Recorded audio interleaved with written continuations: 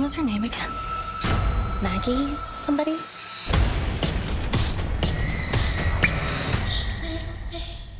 I think her phone's still in the school somewhere. Welcome to the Split River High Afterlife Support Group. How'd you die? God, she doesn't have her phone. That's so sad. You were murdered.